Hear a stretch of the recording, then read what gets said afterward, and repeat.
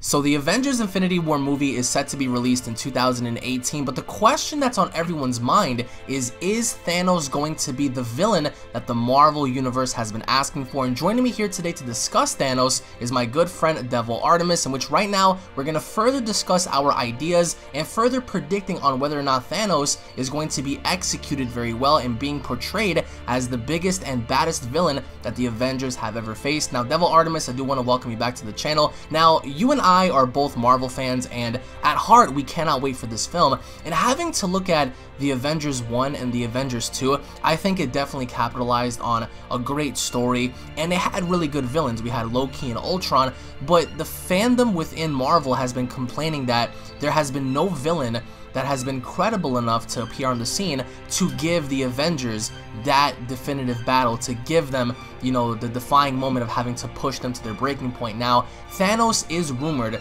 to be that villain in order to, you know, entirely obliterate the Avengers alongside the Guardians of the Galaxy. So I wanted to get your take on the following question. Do you believe, in your opinion, that Thanos is going to indefinitely kill off either the majority of the Avengers or if not all of them going into the upcoming movie. Well, first, I want to thank you for having me on the channel, Alex. Uh, thank you a lot, bro. Always, um, man. But uh, I think really what's what's what's gonna end up happening is Thanos is probably gonna end up taking out all the Avengers. And uh, I mean, I have two theories.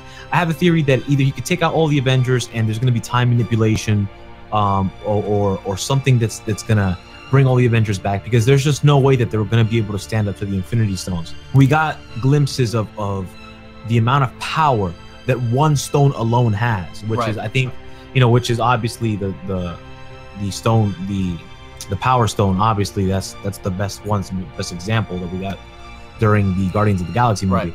But I think Thanos is probably going to end up um, eliminating all the Avengers, and uh, someone is going to have to take this. Uh, stand up and do something about it. Um, from the trailer, we get to see Tony Stark that uh, he was, you know, he was holding up. Spoiler alert: he was holding up uh, Peter Parker, and it seemed like Peter was like suffering from a wound or something on the ground. He was saying, "I'm sorry, Mr. Stark," things like that. Like I, I feel, I feel that um, one by one the Avengers are gonna fall.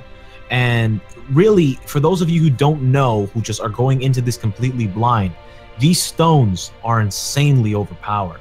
Um, if, for those of you who haven't been kept, caught up with the Marvel movies, um, like the the blue stone, the uh, what's it called, the mind gem. The I mind think that's gem, what, yeah. Or or the I'm not sure. I don't know if it's the mind gem or the space gem. Well, the the blue stone is one of it's one of the gems. Um, there's space, mind, reality, power, and time.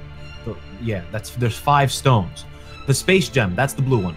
So this the space gem is the blue one. That one is the cube from the Avengers movie. The, the uh, the, one, yeah. yeah, actually, the very first time that it does appear is in the Captain America movie, where the Red Skull has it. It appears as a cube, but that is the blue gem. That is the very first Infinity Stone. Um, the one after that is the Mind Gem, and the Mind Gem is the yellow one. That uh, the Mind Stone. That one is inside. Uh, what's his name? The, the android. Vision. Exactly. That one's inside Vision. Uh, the next one is reality, and reality is the ether from Thor. So, Dark World, yeah. Yeah, uh, the Dark World. That's what it was, not Ragnarok. Ragnarok is the new one. Uh, the Dark World. So the ether was the, is the one from the Dark World, and then we have the Power Stone, and the Power Stone is the one that you saw in Guardians of the Galaxy. It's the purple one, and then we have the Time Stone, which is the green one, and that one we saw in Doctor Strange. Right. Uh, oh, and we have the Soul. The Soul is the last one that we haven't seen. The the Soul Gem, the Soul Gem. That's the last one that we haven't seen. Not that I know of. I don't think that we've seen that one. So all those gems put together inside the Infinity Gauntlet, which is what Thanos has in his hand. For those of you guys who don't know that, um, you know that is extremely overpowered. So with that weapon, he will definitely be able, with the amount of feats and accomplishments that, that he has in the comics. Um, I, I mean, when those stones are put together, that's it you know Thanos basically controls reality itself. It's it's it's amazing how, what he can do with the stones. But do so you I think don't think that think... indefinitely he's gonna kill off all the Avengers? Because for me, I I would want to see Thanos completely obliterate everybody, just because I feel like the Avengers as a whole, they're very powerful. I mean, you have a demigod, you have Tony Stark, who's incredibly intelligent, you have the Hulk, who speaks for himself. You know, it's just very, very, you know, a selective group of people that can do incredible things. But having to go up against Thanos, I feel, in my opinion, that they are going to be killed off. And, and very oddly enough, going back to the Avengers Age of Ultron movie when Tony Stark had that vision of all the Avengers having to be slaughtered, originally people thought, well, maybe this is the rightful doing of Ultron, but I think that with that, it ties into this in seeing how the shield was broken, how Thor was, you know, killed off, how Hulk was pretty much impaled. We saw a very graphic vision, and then we saw how Tony Stark looked out and there was like this wormhole that was, you know, pretty much opened up by Earth, and we saw all these creatures pretty much head towards that. So we understand that no, Thanos isn't really going into this with an army. He's going in there with a, uh, a selective group of uh, members that I believe are called the Children of Thanos, and they're going to be also uh, helping helping Thanos, and I and what I assume to be gathering the stones. And I think that those specific characters aren't really going to be as credible as Thanos is uh, as an individual. But I, I also believe that going into this, Tony Stark may be the last one remaining. So I wanted to ask you, like, with Tony having to be one of the potential ones having to be the last one standing, even though in terms of, you know, sufficiency, he doesn't have any superpower, um, but having to correlate that to Age of Ultron's vision when he was the last one looking around, and even Captain America having to tell him, you could have prevented this, you could have saved us. Do you think that, in your opinion, Tony Stark might be the last one before he perishes, or maybe something else is going to happen, because this definitely ties into a, potential Adam Warlock debut, even though they haven't really confirmed him. What are your thoughts on Tony Stark having to potentially be the last one remaining, because even having to go based off of the trailer slash teaser, from the uh, previous reveal over at Comic Con, we saw how towards the end, Tony Stark was the last one remaining. He looked up at Thanos before Thanos used the Infinity Gauntlet to grab the moon and throw it at everybody. So do you think that, you know, Tony Stark is going to be the last one remaining before he comes up with a plan? Or do you think that he, alongside everyone else, is going to is, is going to get slaughtered too? Well, I mean, I feel like Tony Stark being he probably won't be the last very very last person. I mean, I feel like those those there will still be other heroes around, but the issue with uh, that I'm coming across when I'm trying to predict something from this movie is from from the trailer. I couldn't really see it that well. It looked like he only had one stone. Does it look like really he had one stone? The, the, the, I, am pretty sure. I'm pretty sure.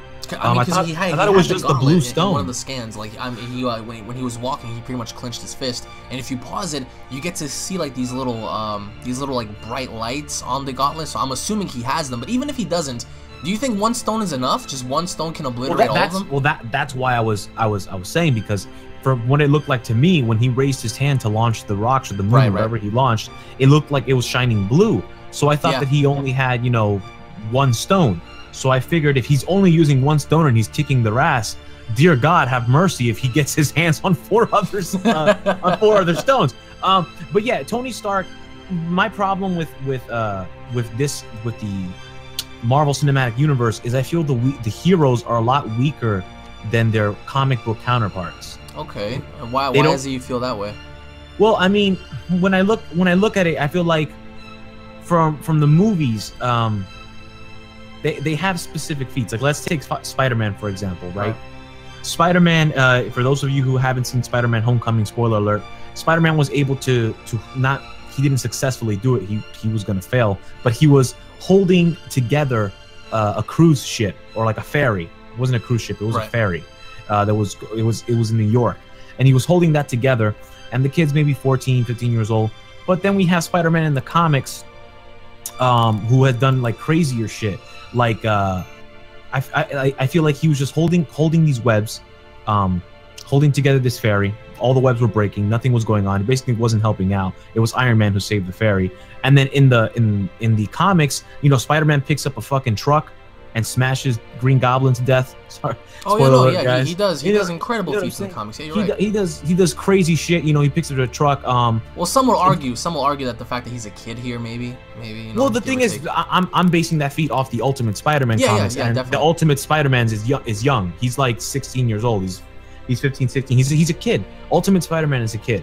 My problem with what I'm saying is is that uh, I feel like the comics, the comic book variation of the characters are a lot better than their movie counterparts. Right. So the fact if you're gonna keep Thanos at a comic book level and put him against characters that are not on that level, it's gonna be an issue. It's gonna be a slaughter fest. So that's why I'm thinking there has to be something that we don't know about that's gonna that's basically going to help them because if Tony Stark had this vision that everybody dies, okay?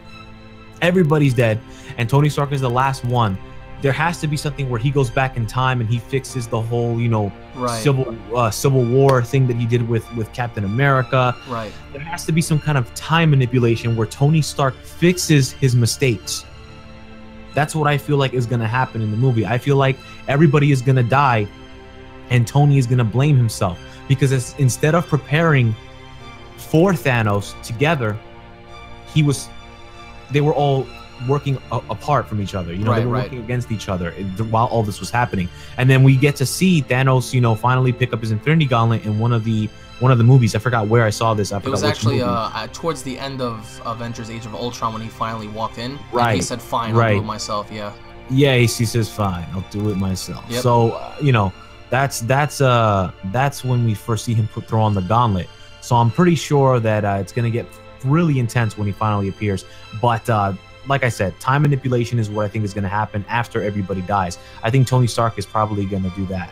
I, I think going back to what you just said with that, that's where I think Doctor Strange can definitely fit a and be a, a very crucial part in this because he is the one that can actually, you know, manipulate time and just you know do all sorts of incredible feats using that kind of ability. And I I, personally feel, in my opinion, that this film is and possibly going to be the best superhero film of 2018 and i think me and you are both looking forward to that hopefully me and you can go both see it together because i, I think that this culminates 10 years worth of hard work from marvel and having to you know culminate everything and putting it all together I, I firmly believe that thanos in this film in my opinion towards the end he may have all of the infinity stones but i think that early on like you said he may actually only need one or two. Spe- uh, in in specific, if he has the Mind Stone, because we we do understand that the Mind Stone is on Vision's head, so it's not really hard to you know claim that stone, especially when it's in the uh, the forehead of your, one of your enemies. So I, I personally feel like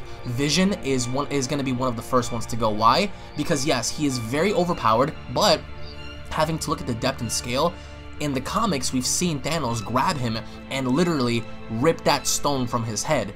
And then, you know, and that was the end of Vision. So I think that Vision would not be operational once that happens. And I think I think that in my opinion, he might be the first one to go alongside many other characters because as of right now, it's all building, especially with Thor Ragnarok having to come out and all the other movies, Black Panther, it's all going to culminate and tie into this film.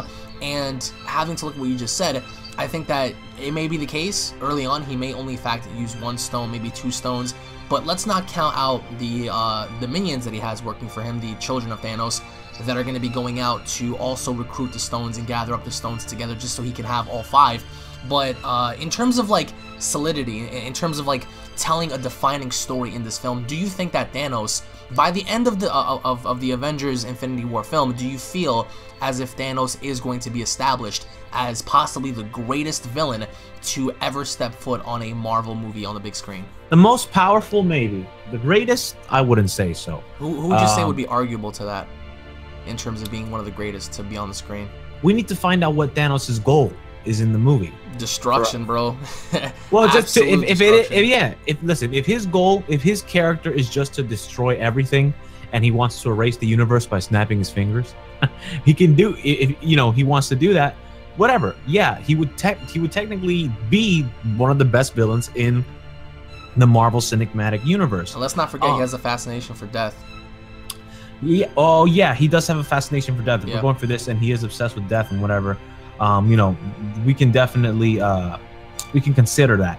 If he wants to destroy the universe to impress her, I mean, if if that's what they're gonna go for, then I mean, to be honest, I still don't find that uh, making a, a great villain. The backstory, anyways Right. his his his uh, power of destruction you know the power that he has to be able to destroy uh definitely at the very top you know so far from the from the mcu that we've Right. seen uh, probably the strongest villain period with all the stones and everything.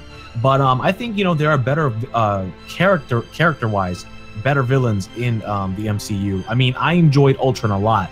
I liked his dialogues from the movies. Um i even liked vulture. Vulture from the spider-man movies? Oh yeah, sadistic as hell. oh my god sadistic. He was just a he was just um my favorite scene in the whole entire movie was when uh peter parker dropped off. I don't know if you saw the movie. No, I Did did, yeah. movie? yeah when, when for those of you who saw it for those of you who didn't spoiler alert again um when peter dropped off uh his daughter to the prom and he sat in the car and he took the fucking gun out have having a father-daughter convers uh father father uh Daughter guess son-in-law. Yeah. Yeah. Oh yeah, yeah. That that was crazy. Like that I was like, holy shit, like this guy's serious. See, Vulture doesn't care. He was willing, he was about to uh kill Peter uh, or, or threaten to kill Peter, and he knows this kid's like 14, 15 years old. He doesn't give a shit. This guy has the mentality of a real villain. Yeah. Um, I, I feel like Thanos is doing all. Yeah, he has all these cool powers and all this shit to do. You know, with the Infinity Stones, and he's super fucking powerful. But he's doing it for what? To impress? To impress a, a girl or to impress Death? Like really? Like come on.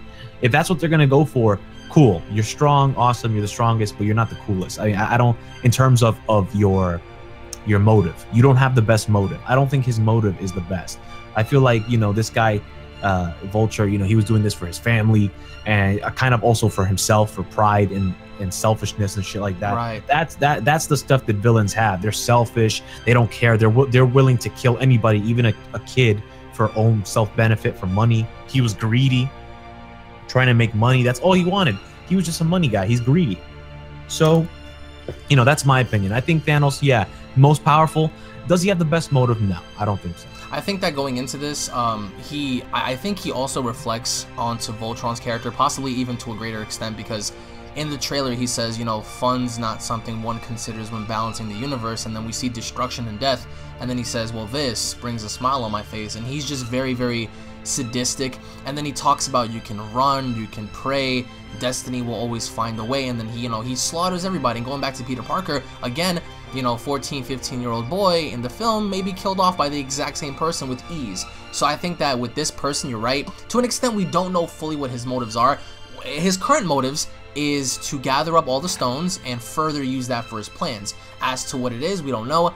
Um, but we're definitely going to be touching up on part two to Thanos possibly being killed off because there are different variations where he was killed off by Drax in the comics and all sorts of stuff. But I do want to say thank you so much for joining me and thank you all so much for watching. Myself and Artemis want to know from you guys as to where you guys stand with Thanos as a villain. Do you definitively feel like he might kill off all the Avengers? Is he going to kill off a majority of them, possibly half, and then while the other half have to regroup and come up with a plan? Because I don't think entirely they're gonna base this movie on the comics or at least a specific issue. I think that they may include their own twists to the overall storytelling of the narrative of the comics. So I don't feel that I don't feel as if they're gonna be basing the entire story based on one specific issue or issues. Uh, but that's why that's what we me, me and Artemis want to know your thoughts down below, guys. Thank you all so much for watching, guys. If you guys don't know about Devil Artemis, go ahead and check his channel out down below. I'm gonna link his channel.